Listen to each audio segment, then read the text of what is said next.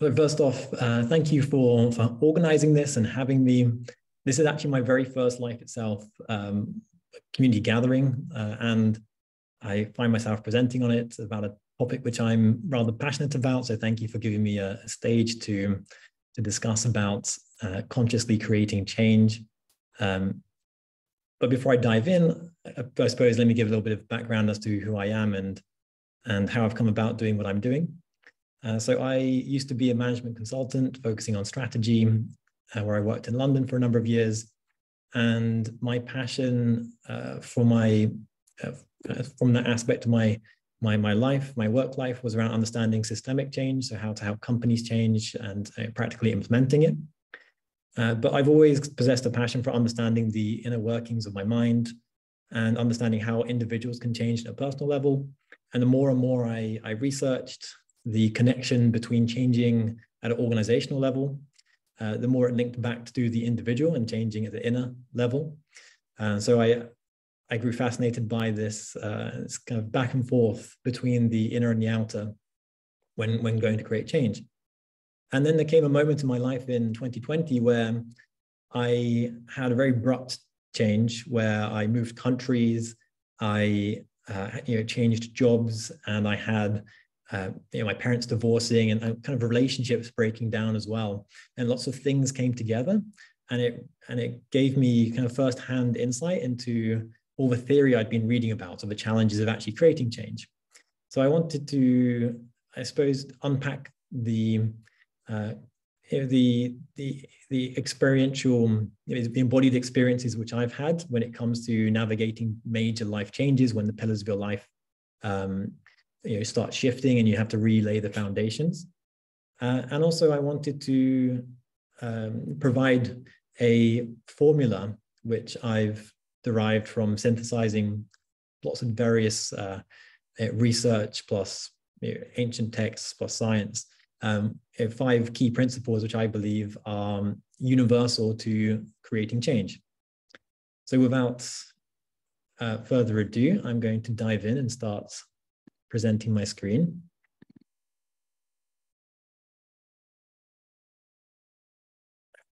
Play. Can, can people see my screen? Can people give me a thumbs up? Yeah, okay, nice. So um, this uh, talks about the art of intentionally creating our futures. And we're, ex we're exploring the, uh, the art of consciously creating change, um, both within ourselves and at the systemic level.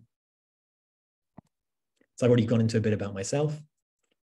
Uh, but but uh, now, uh, after um, working as a management consultant, post um, changing country and leaving jobs, I'm now the founder of Inner Compass Academy, which is an online community focused on helping people to navigate the the inner dynamics, the inner dimensions of uh, of change from a heart-centered place.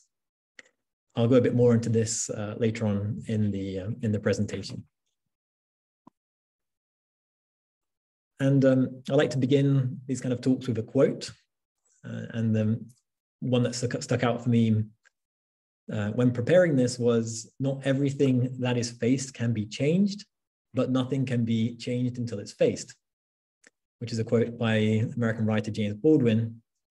And I feel there is a lot of truth to this at the moment, based on what we're seeing in the world today. We're coming up and facing lots of monumental uh, challenges, lots of crises. Um, but at the same time, this gives us an opportunity to create change off the back of them. So, for instance, there's been papers on global warming since the 70s or even earlier. Uh, yet, when we're coming to a front with the impacts of global warming, that's when we can actually catalyze that change, I believe, as one example. So we uh, so this talks about consciously creating change. So it makes sense to talk about what the the alternative is, you know, the, the unconscious aspect of change. And unconscious change isn't necessarily a bad thing. It sometimes it's required to instigate. Uh, it's required to to uh, you know, start a fire to to shake things up, to disrupt a, a system which isn't working. Um, and this is this is what you see with uh, with big you know, with kind of protests that turn violent or you know, abrupt changes where suddenly you have a, an idea and and you think, okay, I'm going to follow through with it, and you end up quitting your job and changing country like me, and then you've got to think about how to rebuild things uh, from a conscious place, because when you go about breaking things and breaking existing systems, breaking down existing relationships and connections you have in your life, then that's a great catalyst for change, and that can propel you to you know, a different path. But at the same time, be mindful that uh, you need to take the appropriate steps to rebuild the foundations um, which you have disrupted. And um, one analogy I like to draw upon is from the San people of South Africa. And um, they, they are a tribal nomadic uh, community living in, in South Africa. They, they are connected very deeply to the land and to nature. And this is an, an idea I got from a podcast I was listening to uh, with John Young. That's the Life Worlds podcast. And he describes these people uh, who uh, talk about energetic threads connecting them to life around them. And they, they link this through example of connections to uh, nature, to a tree. So they would they would name everything. They'd walk through the, the forest, they'd name trees, they'd name animals, they'd name um, plants, and they'd form these deep connections with the land that they inhabited. And this idea of energetic threads, it can also be applied to us, but I think the word energetic is interchangeable with the word emotional. We have emotional threads that attach us to the current way of being. These threads, they connect us uh, at the kind of a macro large sense. So we are connected to the ecosystem we live in. We're connected to Mother Earth. Uh, we're connected to the systems which provide our, our food and our, our security. But also we're connected to much, um, we're connected to things that bring us joy, things that bring us connection. And those emotional connections could be anything. And I think it's important to, when, when trying to understand how to change things at a systemic level, understand where people's emotional connections are. And I think this is where, or maybe a topic that people overlook in the political debates. And, and they, they don't quite understand why people feel so strongly about a point of view. It's not so much the point of view, it's the underlying emotional threads that that, that point of view uh, kind of points to indirectly. So one example I can draw upon on this, uh, so something which uh, maybe for an outside perspective, people might not understand. But for me, growing up, I was a really avid gamer and I, I put lots of hours into World of Warcraft. This is one of my uh, my favorite MMOs. I, I, I put tons and tons of time, maybe a thousand plus hours in growing up into it. And before going to university, I deleted my account because I didn't want it distracting my studies. And for anyone who's played MMOs, like deleting your this your an account is almost unheard of because it's, it's almost like the the world that you create, um, the character you create, and the world that you inhabit through these characters, it's part of your identity because you, you go into this world for connection, for individual expression, and um, and for me it was very challenging, but I did it because I had a vision, I had an idea of what I wanted to create. I didn't want to be held back. Um, so I, I, I, took a difficult decision to cut this thread, but I did it. Now, there is uh, this, this is the point I want to highlight is this huge difference between consciously choosing to cut old threads versus it being forced upon us. And there's a video that went viral quite some time ago of a, of a brother filming a kid who who uh, had his World of Warcraft accounts deleted. And from the reaction from this video, you can see that it is extremely traumatic for this kid. And I'll just play a little bit of a clip just to show how difficult you know, when change is forced upon you without you having choice in the matter, especially if it's something meaningful.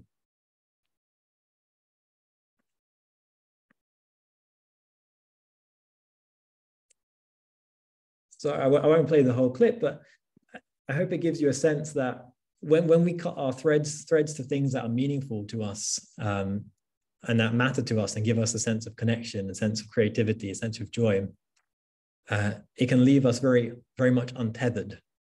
And like a ship in the middle of the ocean, you don't really know which direction you might want to go in. Uh, it can be a, quite a uncomfortable place to be. And it's a vulnerable place to be as well. So from being in that place myself for some time and and um, being around other people who found themselves in this place, I I find that one of the most important things that we can do is to hold space for these people who are going through big life transitions, who are in these states of limbo, uh, who've cut old, you know, cut threads to the old ways of life and are looking to explore something new. And it's also empower those people with a choice of consciously creating their future, as opposed to futures being handed down to them. And this is what I, I hope to do through my community. So Inner Compass is, um, is about creating a space for people to, uh, to navigate change, essentially. It's to navigate the inner dimensions of change. So I host journaling calls and um, create a, a container for people to come together and to uh, connect at a human level. There's so much noise and so much, uh, I think, uh, so much of a, a show or a pretense being put up in in many uh, in many aspects of life, many areas of life that I think communities, like life itself, uh, are so valuable. Yeah, I see them as oases uh, for people who are looking for authentic connection and a place to figure out um, how to navigate their future. And um, I'm hoping to create a, uh, as I put it, a sanctuary for the inner explorer. So as you're going through this period of limbo is a place where you feel safe to explore different possible futures. And now I come on to this, uh, this formula I alluded to, the formula for conscious creation. And uh, it's something I've I've put together based on lots of lots of time researching into the the aspects of change and how how change comes about. And um, I've kept it essentially distilled it. You know, it, this started out being much more complicated. If you can imagine, when I was trying to figure this out, I had like huge A3 paper, I had whiteboards, I had arrows, I had lots of different things. And essentially, I've distilled it down to five things, which I'll elaborate on now. Um, first, being intention. So intention is arguably the starting point. It's this the direction which you set for when you're going out and seeking to create some kind of change in your life. If you think back to the example of the boat at sea, if you're dropped in the middle of the Atlantic Ocean, the at this moment you have a choice of sailing, let's say east or west, you know, and the decision you make at that point is going to take you to a different continent. So the intentions they can be very large in scale. You can have these big macro intentions, whereby they decide the, a new path or a new direction for your future but they can also be smaller in scale. For instance, you will never uh, you will never be a renowned pastry chef if you don't have an intention to to get into to go into the kitchen and start cooking or to experiment with baking. Yeah, so the intention is that initial starting point is the seeds, seeds of ideas that get planted. And we are presented with different intentions, you know, different possible futures at, uh, at many points in our life. And the, the key is simply to be open to the ones that feel alive and feel exciting for us. And then once we have an intention, that sets our initial direction on our compass. And then we move on to vision, being the second ingredient. And whenever you seek to create some kind of change, let's say you have, I don't know why I chose pastry chef, but let's say you have a vision of being a famed pastry chef uh, or, an, or an intention to become a, a famed pastry chef. If you don't have some kind of vision or image in your mind's eye as to what that might look like, it's going to be very hard to get there because there's a huge gap between vision and it being actualized uh, in, in reality. So vision is what fills in the, the blanks, fills in the details as to what it might look like in, in a future state. And as you go through creating changes, they can be extremely emotionally taxing and very difficult to keep going because you might you know, one day be extremely infused by the idea of this, but then one week on, uh, the practicalities of life get in the way. The you know the, the day-to-day chores and the grind and the pressures and the obligations they will come and try and knock you off course and if you don't have that vision as to where you want to get to, and you keep coming back to it and strengthening it. I'm not saying that it has to be just the same um, throughout the entirety of it. The vision can change and evolve and and organically emerge over time, but it needs to be there. Otherwise, you will lose touch with the bigger picture. The third ingredient is awareness. And while this is a very broad term, I like to think about awareness in two distinct um, aspects. The first being internal awareness, and the second being external awareness. So, internal awareness is extremely important to have when you're going through a, period of, a big period of change. So, let's say you've cut threads to your old ways of life, you've kind of shifted shifted the the foundations, the pillars in which your life is built, and you're trying to, to create something new, go in a new direction. Then it can be very taxing for your body. Uh, having awareness of what your body's telling you, so some like somatic awareness, as it's called, awareness of your nervous system, is is really critical because you might have your mind might have a really grand idea of where you might want to be, but you need to take your body along on the ride with you. And sometimes, if you throw yourself in a situation where you're not ready for, it can be really jarring for your nervous system and it can ultimately result in overwhelm and burnout, which also happened to me. So I'm, I'm speaking from, from, from personal experience also.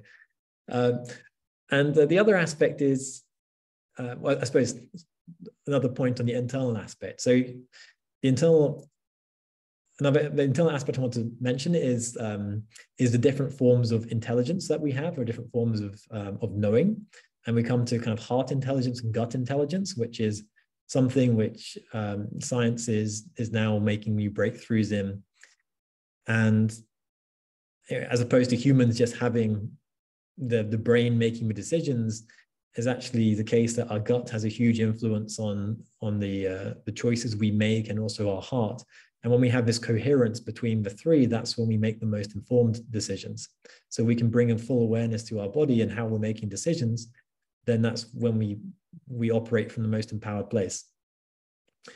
And then we have um, external awareness, and that's being aware of what you're getting yourself into. So you might be a very Zen, like you know everything about how you're working in your inner world, and that's great. But then if you don't understand how to make change in the outer world, so you want to go become a pastry chef, but you've never picked up a rolling pin and made pastry, you don't know how uh, you know, how to get a scholarship or a grant or um, or go to uh, get in the right you know, you know, patisserie, uh, then you're not going to be able to get too far. And it's by having external awareness that's when you start researching, understanding what's out there around you, and how that can contribute to uh, creating change from this place of awareness as opposed to fumbling in the dark. And then next ingredient we have is strategy. And uh, strategy is when the, the intangible becomes more tangible.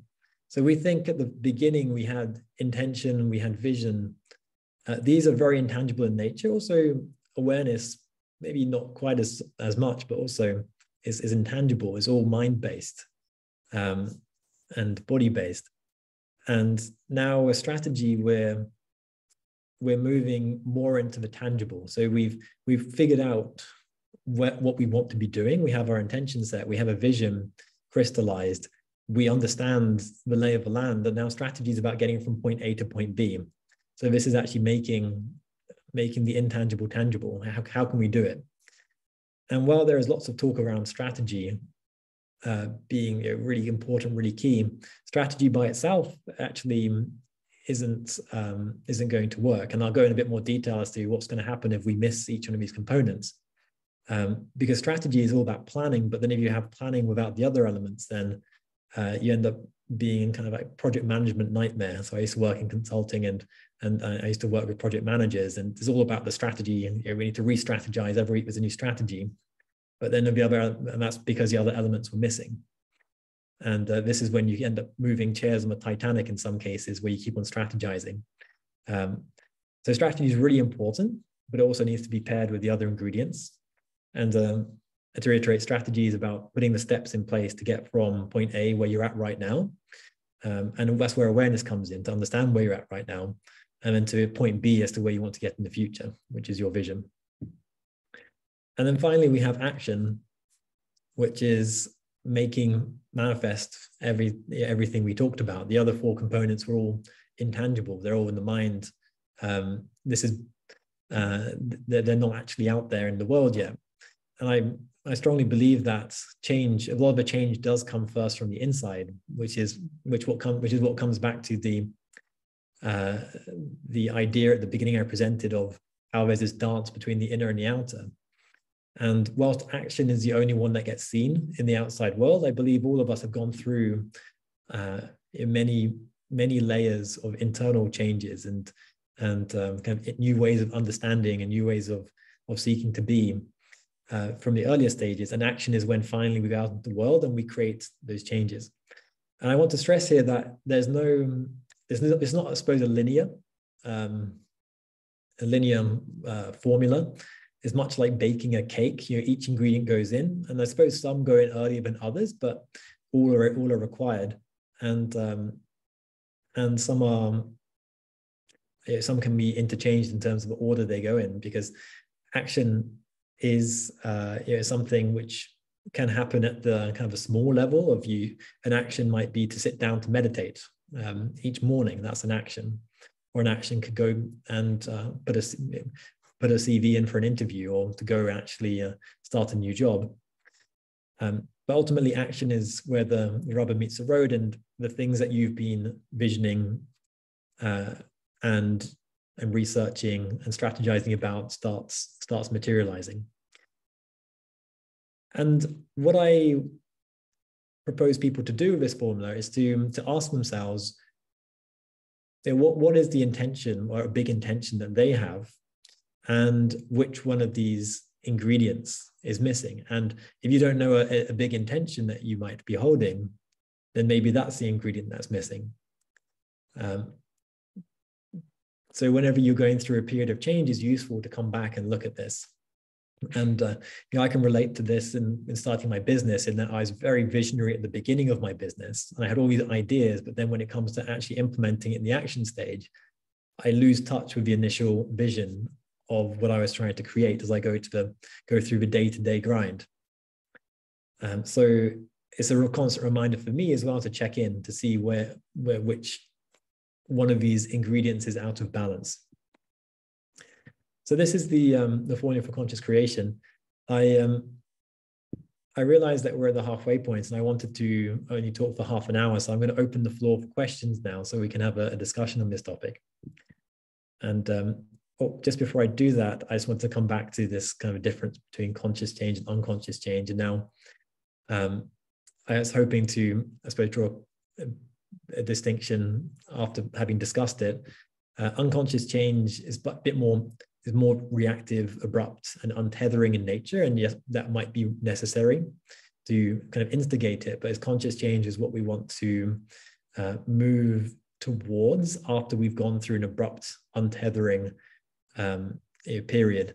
And at a kind of collective scale, we could think about the pandemic as this, which is a big shock. But then after that shock, we want to be mindful in intentionally, gradually creating change from an empowered place.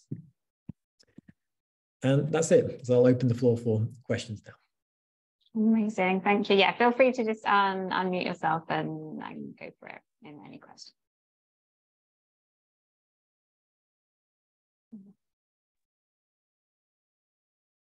Yeah, and would you mind um, unsharing your screen as well so we can see each yes. other? Thanks.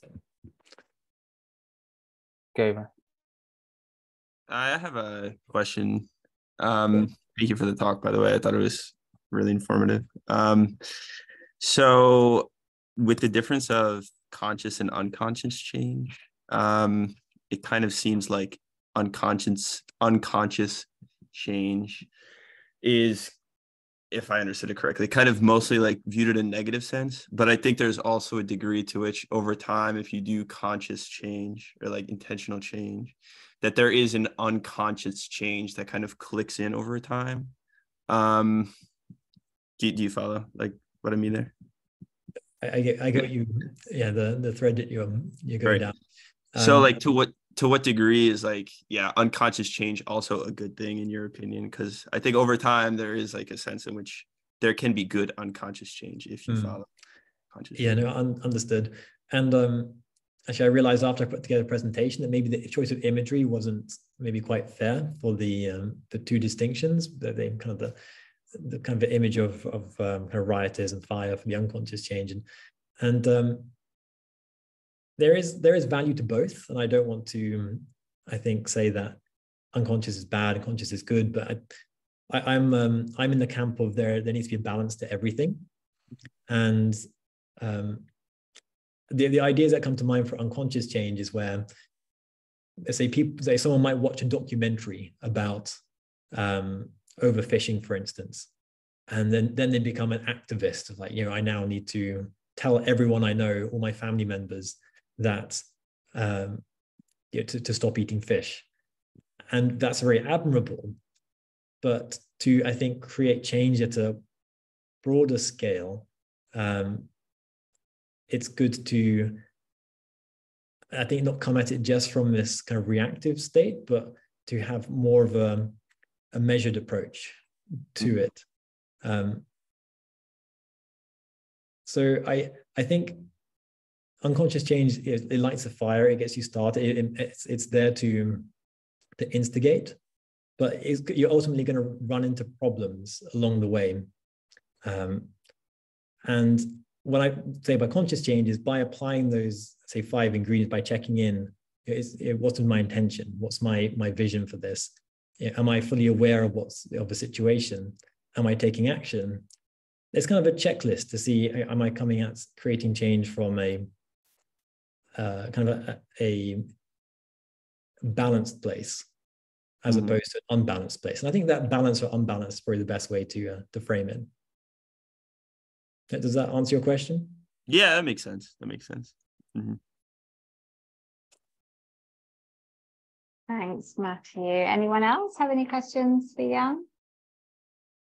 I have some. I have some thoughts. Like what you were saying triggered quite a few different um, elements, like um, in relation to um, Gabor Mate and the concept of like um, when you have the choice between authenticity and attachment, attachment mm. will triumph, and how that can often be an unconscious factor that we're not aware of is the initial attachment and how that is moving us away from being um, authentic. Um, so I'm just going to throw out some thoughts. These aren't necessarily questions. And then also with Jung, like until we make the unconscious conscious, it will direct our life and we will call it fate, kind of mm. awareness or uh, quote, so to speak, because often we don't necessarily have that awareness. So I guess I suppose if I was to formulate this into a question, do you feel that sometimes people will make conscious changes, but that they are actually directed unconsciously? Oh, interesting question. So, will people make changes? Can you repeat one more time, just so I get my yeah? So, do people make conscious changes, hmm. but these conscious changes are actually directed unconsciously? Oh yes, I think. Yeah, no, I, I, get where you're coming from. So I think, oh, yeah, the unconscious is always directing us in certain, down certain paths. And I, I don't want to kind of start a war between the conscious and the conscious, uh, subconscious, saying the, the conscious is good, subconscious is bad. Um, and I, I would argue that actually oh, there's a trap here of overthinking, of like, oh, am I making this change consciously? Um, and that that I think is a dangerous place to to be in. I think it's it's more it's more of a kind of a flip between the two. Um, so you would kind of start off not really knowing what you're doing. Um, it may be kind of unco- you know, unconsciously, you know that something's not right. So you start creating some changes. You know, you you think like you have a this idea that oh, I, you know, I'm if things aren't going well for me here, or maybe I just something doesn't feel right about uh, you this kind of aspect of my life, this area of my life. I'm going to um, you know, I'm going to change it. I'm going to quit my job, and it might come from nowhere.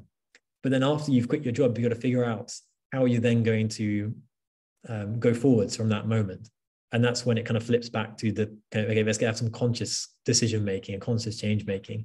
And then you want to check in okay after i'm now unemployed. What is my what are my options? Uh, then what's my intention? Do i have a vision for where i want to be? Do i have some awareness of how i can bring about that vision and a strategy etc i'm not saying you have to think about all five of these at once they're going to kind of kind of organically come to you but just by having this framework in mind it's just there to, I think, remind you that if you're feeling a bit stuck, and I, I, I say, I, I like to, um, the preface is saying that this this framework is good if you're feeling a bit confused, a bit stuck, or a bit directionless. is is great for journaling or for introspection, and we think like, oh, actually, I had this great idea of doing this, but now I, I'm not making any progress. And then you can check in with yourself honestly, like, oh, am I bringing full awareness to how a this is making my body feel, or awareness to what's required to create this change? And you think, oh, maybe not. Um, or do I actually have a strategy for how I'm going to do this? And if you're not a person who is great at strategy, then get someone to help you to do that. Or if you're not someone who's great at action taking, then get someone who's a real action taker to come in and, and support you. So I'm also not saying that you need to be the one doing all five of these things. And as you create changes within communities, um, then going to have different people who are better at different aspects. And if you go back to tribal cultures, you had the, the shaman in the tent who was the visionary, and you, he would commune with the spirits. And then he would pass it on to the, the others in the tribe, the elders, and the elders would then pass on to the, the hunter gatherers and the warriors. Um, so each person had their role. Um, but that's when you're living together in a close knit community. Um, when you're there by yourself, uh, you can you know, keep be mindful that you can tap into your network, but it's also good to have a kind of overarching view of uh, kind of the mechanisms or dynamics of of how change works. Thank you. Yeah, because I guess uh, this can often seem quite overwhelming for people, even if they're there's a driver of consciously making some changes and the sort of your um, five pillars, so to speak, are often can often feel so huge within mm. themselves mm. that I guess people can maybe sort of not um, not necessarily want to start or be overwhelmed with starting. So if somebody mm. was at the point where they, you know, are following this this train of thought, they're connecting to it, but they feel a bit frozen, what would be what would be like the initial easy way in to make this actually feel much more manageable to to work with? I, I would say uh, start small. Um, so if you look instead of saying I'm going to completely yeah up upend my life and change job and start a business or whatever that's huge. Start much smaller and think at a personal level. Like apply this to building a new habit for instance. Let's say oh, i really wanted to get into um, into yoga uh, build a yoga practice. How can i do that? And I think where people fall short is they have the initial intention, they have kind of a short burst of motivation, but then they fall off. And if you start applying this to, say, building a yoga practice, okay, you have the intention. I mean, okay, give a vision of where you want to be with this yoga practice. Because if you have a vision of um, being more flexible, for instance, or being able to do a handstand or a headstand, then that's already more motivating. And then you start bringing awareness to it. Then awareness would be yoga videos, learning about yoga. Um, and then whilst you're doing yoga, listen to your body, be present with your body. How's it feeling? And that brings you more emotionally into that experience. And then do you have a strategy, as in maybe a strategy in this example would be do yoga twice a week for uh, two months. That's your strategy, that's your plan. And then um, and then you take action by actually going and doing it each time and showing up on the mat. So when I give this formula, it's it's not for people to do dramatic, drastic things with it. But if you're trying to you know, even do something very small, like cook different, you know, cook more healthily in the kitchen, um, then you can still apply this formula and kind of check in um, with you know, whether you're you're being able to apply it or not, and it might help you identify gaps as to why you can't put in place new habits or routines. Yeah, and I just wanted to ask, like, um, yeah, first of all, thank you. I, I really appreciate the uh, the idea, the concept, and um, I'm curious, like, from your experience, where you find people most stumble during this this process. Like, what's the bit they find hardest to kind of either put down on paper or even like overcome or put into action i guess um so i, I feel um, i feel people have a pretty good aware like awareness um in general of let's say something something needs to change. They have a kind of a good internal awareness like oh i need to change this thing. And then you maybe set an intention off the back of that like oh you know i know that me watching netflix for three hours every day when i get home that's not good. You know i need to change that. So you have an intention. And then you might put a strategy in place. You're like okay i'm going to you know, hide the remote for instance switch or, you know, like, do something to stop you from from doing that but then i feel i feel um vision is maybe a bit underrated um, and it kind of comes back to this um, this this other theory, this other premise I was talking about, these kind of um, these emotional threads which attach you to things. So you watching Netflix for three hours when you get home, you're getting some utility out of that. Some uh, you have that kind of connection to it. You're getting something from it. You're connecting with with the art of cinema, the art of of uh, of TV screenwriting. So at the moment, the changes you're trying to create are maybe detracting something, but can you create a vision of what you might do in the place of watching Netflix? Do you have a vision for coming home and taking up a new project or like some kind of craft activity, as opposed to just sitting in the house staring to wall? Um, that's like that's an extreme example, but you need, I think, something to fill the void, and that's where vision comes in, imagination comes in. Um, and I think that's an area which is deceptively simple. Just because you don't need to do anything. It's not an act of doing to imagine into vision. You you sit down and you um, you you can imagine what you could be doing, or you gain inspiration from what others are doing, and you start bringing it into your life. And I feel there's this real power just you know through imagination um, to create change. Mm, yeah, thank you. The other thing I wanted to ask about was um, like uh, points of feedback within this kind of um, system because I know, I mean, of course, it's not linear, um, but the way you present it is, you know, there's a list with uh, obviously the intention being more like the big vision and the action hmm. being the the final kind of output.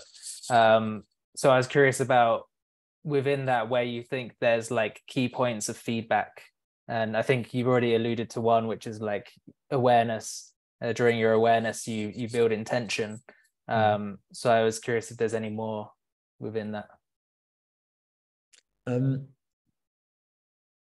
so i would say a, a, a thing i would recommend for people with this is um is not to be too attached to it. So, so you like um like a map. You, you have it as a map, have it as some kind of mental framework, mental model to come back to occasionally.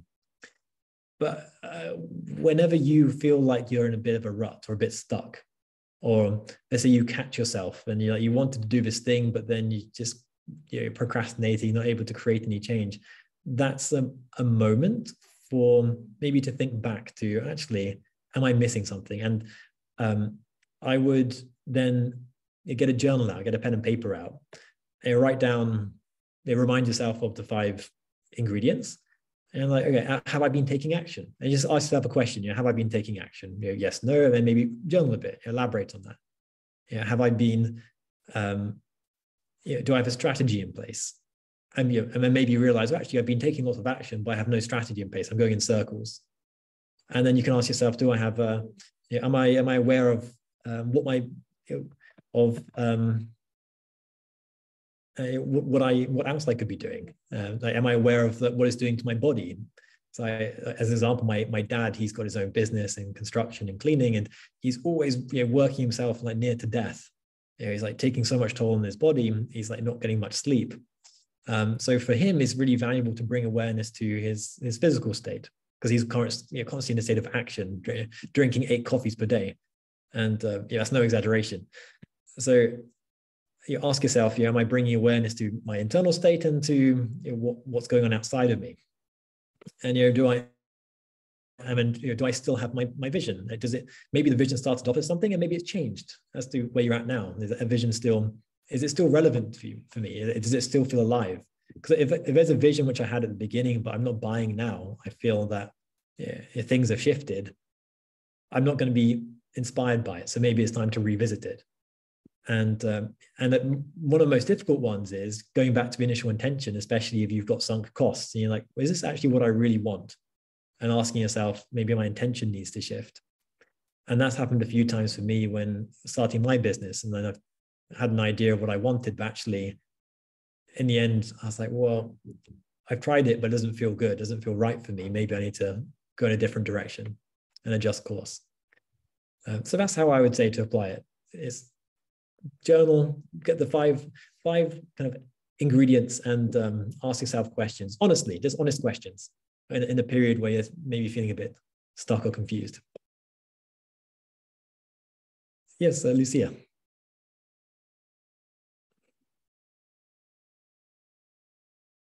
Lucia, you're on mute. You need to unmute yourself. The lesson. It's okay now? Yes. Cool. Okay. I said, please stop me if I, since I speak three languages all day, all day long, and French is my last one, and I live in France, I sometimes can, um, I don't know. So I will speak based on my life experience or situation right now. Um, at Plum Village in here in La Dordogne, I met Mark from Life Itself and um, what's his name, Baez. Uh, and I was very interested. Actually, it's the first time in my life that I do a Zoom uh, because I've always liked things um, directly. It's the first time in my life at 61 years old that I do get involved in the Zoom. Uh, itself, uh, life itself really attracted me. I've been in France for 13 years. Uh, was in the Caribbean before and United States before. And right now in my life, I'm at a point where I'm not satisfied and I know a shift is going on, but it's been going on for too long where I am stuck. Uh, Plum Village, I was there for two weeks with the Buddhist uh, monastery. It was pretty difficult for me to follow all the practices and stuff. I met beautiful people, but I keep, I'm like stuck. I'm very lonely here. I like to be alone, but it's a deep loneliness. I've had uh, lots of uh, lots of things that happen in my life, losing people, uh, suicides, death. I had a huge depression. And I know I want to live in a community.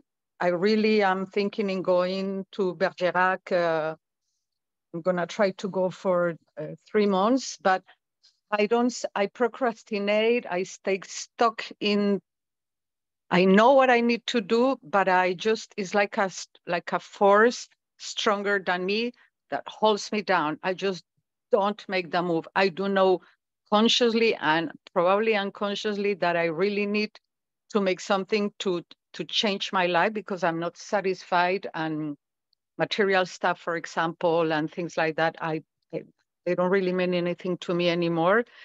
So I don't know how to make this make this action, how to make the move because I am blocked. I'm blocked. That's the word. I'm really mm. with fear to make a move because it's been 13 years I'm running in a circle. So I don't know if this question or this subject I'm bringing out to you makes any sense. Mm. And uh, what will be your opinion or say about it? Well, there's um, so the thing that comes to me is this um, this this force you mentioned holding you down, and I think the place to start would be to investigate what that is showing up for you. Um, like so bring awareness to that.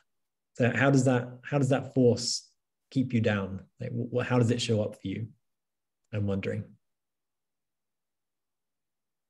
there's a lot of trauma in my life there's a lot of traumatic events uh, and um, when i came to france after living in the caribbean i just broke down it's just like i was 48 years old and and I feel like I'm a snake changing skin.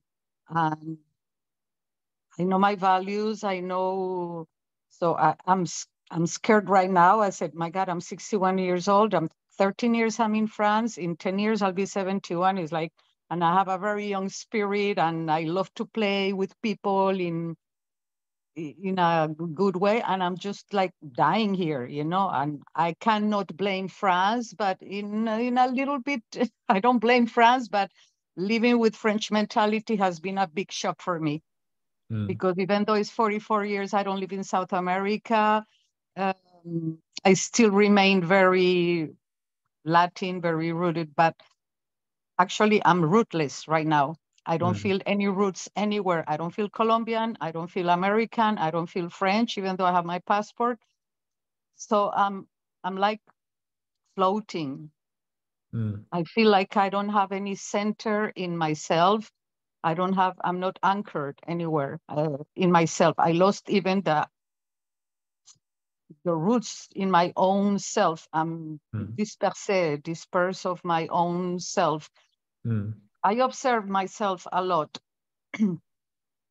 but uh, you know, I'm, I'm.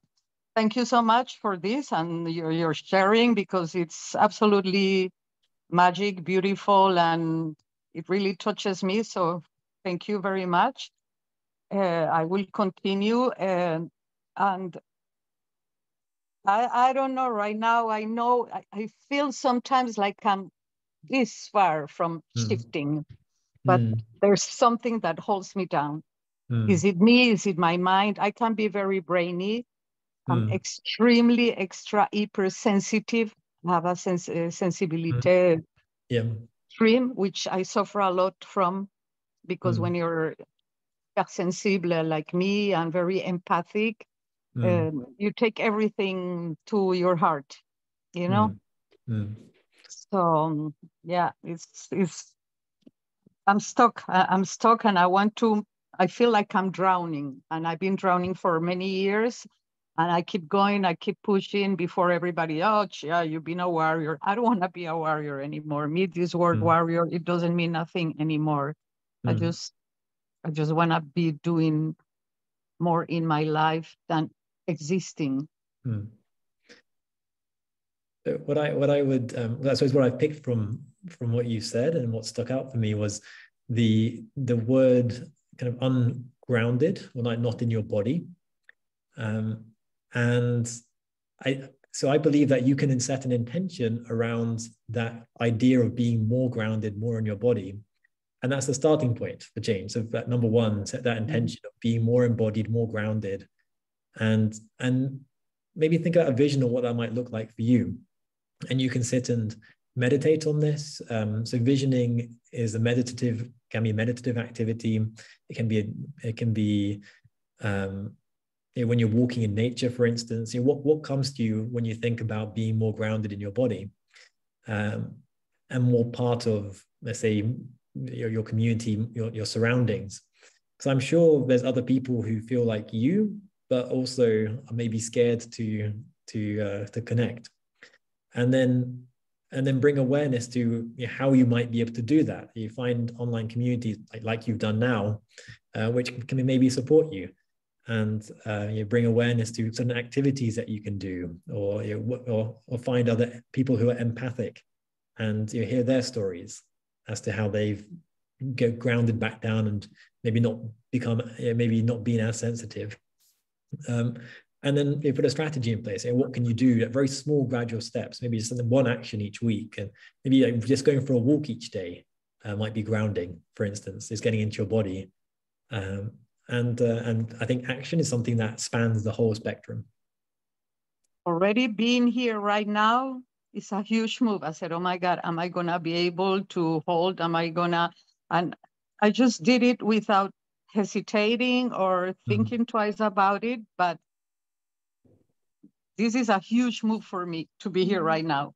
Yeah, this is it's amazing. Yeah, we're really happy to like welcome and hold space for for individuals, especially wherever they're at on their journey. And I feel like what Jan has offered up today and what he's just shared is like the sort of latter reflections in a more sort of like directly aligned response to to your situation is something that's super useful to everyone because there's a lot that comes around with change. And even if there is that conscious awareness of it it brings up so many different emotions so many different thoughts a real you know battling with like limiting beliefs and conditioning and you know this whole array of emotions that we're all just um, as humans consistently like experiencing or avoiding or being exposed to so we are coming to time. I'm just gonna um, just check in with Nathan. Is there anything you'd like to to say as we start to like close close this up, Nathan? Any final thoughts or anything? No, I don't think so. I just want to say, yeah, thank you again for everyone coming, and Lucia, thank you for for being here. And I really feel you right here. It's um, very heartwarming that you're you're sharing vulnerably, and um, I think it really brings community together when we can have these experiences. So thank you so much. Uh, thank you all too. I'm really with tears in my eyes. It is like a sangha, you know, sharing, and I always put my heart out. Uh, sometimes I even express too much how I'm feeling, but that's my nature. And I just hope it's it's good for some people that will not talk, but might be going through the same thing I am. Yeah, of course. And I, I feel like vulnerability um, is, is so key to conscious change. So you are definitely leading leading the way for, for all of us here. So we are now at time.